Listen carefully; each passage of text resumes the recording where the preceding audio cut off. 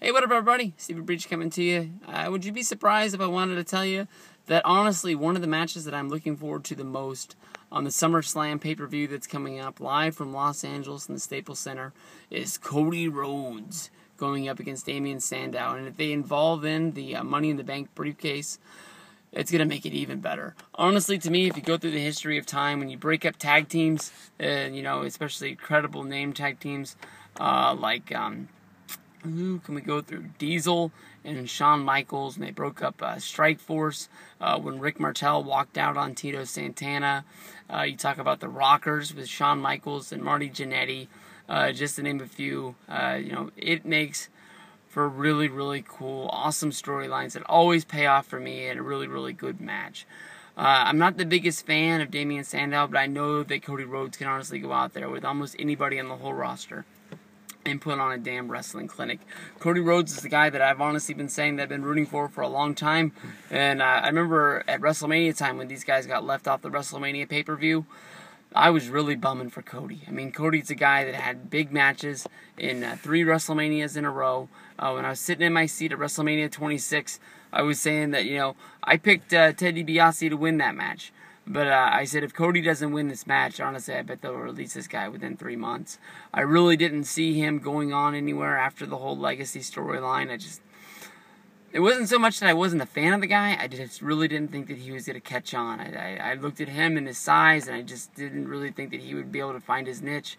And next thing you know, you roll around to WrestleMania 27. He's wrestling against uh, freaking Rey Mysterio and DiBiase has uh, started his streak of being left off the card. Um, I don't know whatever happened to Ted DiBiase, but um, you know wherever he is, he pops up in some videos every once in a while, and I read about him on some house show uh, results. Uh, just um, I don't know where it went wrong for him. I, I, remember reading a report about a year ago. He was at this make his mind up if he wanted to go to LA and try to become a movie star, or if he wanted to be a pro wrestler and um, I never really heard anything about it, but I just keep reading his name in places, and every once in a while his name pops up as a, po- a guy possibly waiting to return. He's just one of those guys sitting at home, like Ezekiel Jackson, just waiting for that, that phone to call, and uh, you know, he's like Dennis Stamp, waiting for that last shot, I guess. But um, I really wish, you know, I brought up them being left off the WrestleMania card, but um, to me, honestly, uh, Sandow who I'm not really that big of a fan of, you know, and Rhodes got left off the pay per view of WrestleMania. It sort of shows you, honestly, since the Royal Rumble pay per view, these guys really haven't done anything. I know that they. You know, they did the big press conference saying that they were breaking up and then it was the end of the team and they were going their separate ways but staying best friends. And next thing you know, one show led to two shows, led to three shows, all on this some sort of a reunion tour um, but it was like they already announced that they were done. Why did they keep tagging? And um, you know, right before Money in the Bank, they really beefed up this best friends angle, saying that they weren't going to turn on each other and both of them were going to win.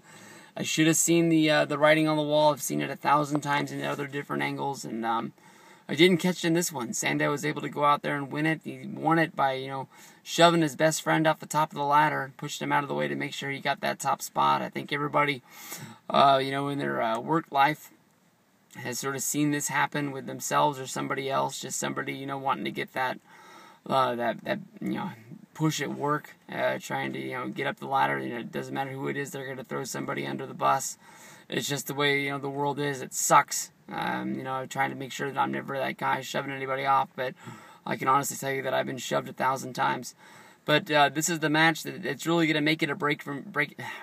It's gonna make it or break it for me on Damien Sandow. Um, I've seen a lot of this guy's matches. Uh, I remember when he first debuted WrestleMania 27 town, uh, 27 time. It seemed like he was the talk of the town and um, everybody really liked him. I didn't really ever see it. I saw him as a guy that wore pink tights and did cartwheels.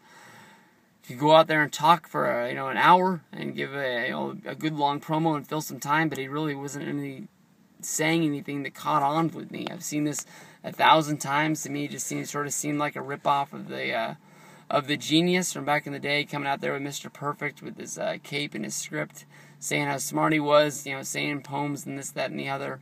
Um, but when it came down to work, uh, it just really didn't catch on with me. Um, sure, he's an awful fine wrestler, but he's just somebody who doesn't really catch on with me. Cody Rhodes, like I said, is a guy that you know I think it's maybe his amateur wrestling style that that uh, comes from uh, his past uh, with high school, and I think he even wrestled in college. Really like that dude, and that that's the match that I'm honestly really really looking forward to. I don't honestly see Cody winning this match. I think that Sandow will win it, but it, I think the, the fans have really caught on with Cody, uh, giving him the babyface pop and, and you know making sure he's the guy that people are going to get behind. But uh, I'm pretty sure Sandow's going to walk out with this. I know that they have done a Money in the Bank uh, briefcase switch before uh, with Mr. Kennedy, uh, Kennedy uh, but mostly that was because they needed somebody to beat, um, take the title off of Undertaker. Yeah, Undertaker got hurt. He was the champ. They were already planning on Kennedy taking the title from him. They already had him sat down, had to talk with him, told him how it was going to happen, and then he fucking happened to get hurt as well. So they uh, of had him show up on Monday Night Raw, had him switch the briefcase over to Edge, and uh, history was made right there as the, uh, I guess you can say, the first guy to ever uh, cash in the Money in the Bank briefcase twice. He was the first guy to ever have it as well. And um, the first time you ever saw the uh, briefcase ever switch hands, it had been used uh, with Edge and Matt Hardy in their storyline when Hardy came back after being fired and trying to make those matches a little bit more special uh, with uh, that briefcase being online and trying to see if they can make Hardy a main eventer. I think that was as close as he ever came.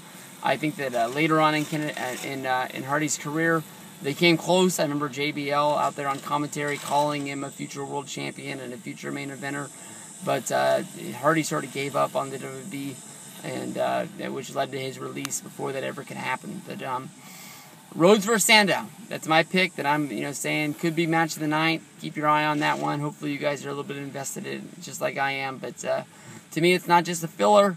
It's going to be one of the matches that I'm really involved in, and I hope you guys are too.